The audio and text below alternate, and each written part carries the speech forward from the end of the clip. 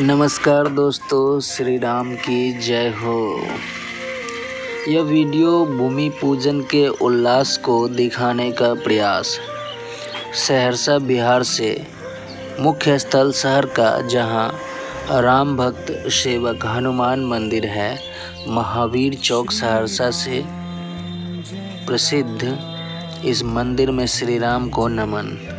PM Modi ने अयोध्या में भूमि पूजन में और राम जन्मभूमि मुक्त होने की बात कही। यहाँ उन्होंने हनुमानगढ़ी में पूजा की और रामलला विराजमान के दर्शन किए।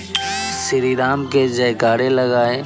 उन्होंने ये भी कहा, करोड़ों भारत के राम भक्तों को कोटि कोटि बधाई। टूटना और फिर खड़ा होना सदियों से चल रहे इस सिलसिले में राम जन्मभूमि आज मुक्त हुई है। कहा, कोरोना काल में मर्यादा के साथ हो रही भूमि पूजन। वीडियो को अब तक पसंद आया हो तो लाइक कर दें और न्यू वीडियो के लिए चैनल सब्सक्राइब कर लें। श्री राम सर्वव्यापी है, इतिहास खुद को दोहरा रहा है। भारत की अखंडता में एकता भगवान का ये मंदिर युगों युगों तक प्रेरणा बना रहेगा। कोरोना के हालात में प्रभु राम के मर्यादा का मार्ग और अधिक आवश्यक है। उन्होंने कहा, दो गज की दूरी, मास्क है ज़रूरी। सभी देशवासियों पर माता सीता और श्री राम का आशीर्वाद बना रहे। तो आइए हम भी लगाते हैं। जयकारे सियापति रामचंद्र जी की जय।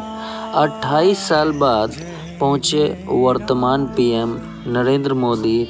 समस्त भारतवासी को मालूम हो कि पीएम ने अयोध्या में साष्टांग प्रणाम किया। 40 मिनट तक भूमि पूजन चला, कार्यक्रम चला। सियावर रामचंद्र के जयकारे लगाए गए। हमारे जीवन में वाल्मीकि रामायण से आए श्री राम संस्कृत भाषा में उसके बाद तुलसीदास जी ने अवध रामचरित्र मानस लिखा। श्री राम की कहानी कथा आज जग ज़ाहिर है। फिर कई कवियों ने राम कथा पर प्रकाश डाला और उनके जन्म स्थल पर यानी अयोध्या में बनने वाले मंदिर का भूमि पूजन संपन्न हुआ। एक खास बात है, लगभग 500 साल बाद बनेगा यह मंदिर। युगों से, लोगों की आस्था से आज और जब तक रहेगी ये सृष्टि, लोगों के युगों के पुरुषोत्तम बने रहेंगे श्री राम अयोध्या में है श्री राम का जन्मभूमि। और एक बात आपको बताऊँ, नेपाल, जनकपुर में है। माता सीता का मंदिर, श्री राम की पत्नी माता सीता का जन्म स्थल जो कि श्री लक्ष्मी की अवतार हैं।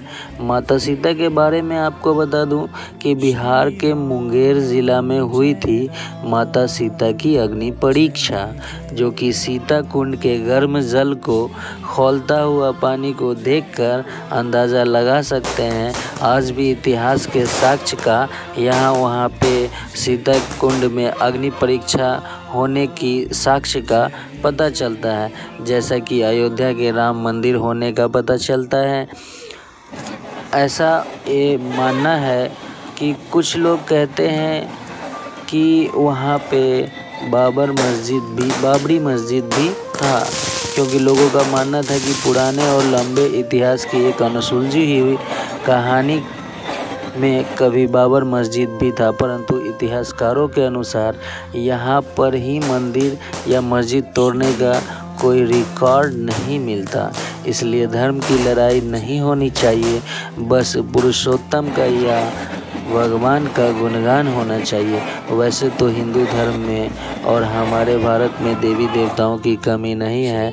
हमारा यह उद्देश्य कभी नहीं होना चाहिए कि अखंड भारत में किसी भी व्यक्ति के धर्म या आस्था को या धार्मिक विचारधारा को ठेस नहीं पहुंचाना चाहिए, क्योंकि हमारा भारत धर्मनिरपेक्ष देश है और हिंदू, मुस्लिम, सिख, जैन, पारसी, बौद्ध सभी धर्मों के लोग का यहाँ पे रहना संभव है और इतिहास गवाह है कि मुस्लिम शासक और मुग़ल शासक ने कई हिंदू मंदिरों को ढा दिया था। और या तो वो इंडिया के खुजराहो मंदिर हो या फिर हम भी मंदिर हो, दक्षिण भारत का, और या और भी मंदिर इतिहास में नाम दर्ज है, जिससे इनकार नहीं किया जा सकता, उसे तोड़ा गया, ढहा गया था। आज़ादी के बाद वर्ष 2020 से पहले अयोध्या मंदिर का शिलान्यास और राजीव गांधी के समय 9 नवंबर उन्नीस में हुई थी। इस सांप्रदायिक तनाव में भी हुई थी कुछ और पूरे देश में शिलाएँ, मूर्तियाँ अयोध्या आई थी। जैसा कि आपको मालूम हो कि इस वर्ष भी सहरसा ज़िले से शक्तिपीठ तारा स्थान से यहाँ की मिट्टी वहाँ अयोध्या में भूमि पूजन से पहले ले जाई गई है। आखिरकार 9 नवंबर 2019 को अयोध्या में राम मंदिर बनने का फैसला आया सुप्रीम कोर्ट के फैसले से। दो एकड़ के विवादित ज़मीन का फैसला हुआ। रामलला विराजमान के शिलान्यास के लिए ट्रस्ट के द्वारा एक ट्रस्ट गठित हो, इसकी भी आदेश मिली है। एवं सुन्नी वक्फ बोर्ड को पाँच एकड़ ज़मीन देने का अयोध्या में ही सुप्रीम कोर्ट का फैसला हुआ। तो फ्रेंड्स, इतिहास में काफ़ी दुखों पीरों का नाम है, इतिहास है, जिसको जानना बहुत ज़रूरत है, तथा सिर्फ़ श्री राम के जयकारे नहीं और राम जी के मर्यादित जीवन का अनुपालन करने से भारत की मर्यादा का स्वरूप हमारे कल के इतिहास में दर्ज होगा। प्रेम से बोलिए मर्यादा पुरुषोत्तम श्री राम की जय। अब आपको फ्रेंड्स कुछ अयोध्या मंदिर के बारे में बताने की कोशिश कर रहा हूँ। अयोध्या मंदिर एक सौ इकसठ फुट लंबा होगा और यह अब तीन मंजिले का होगा।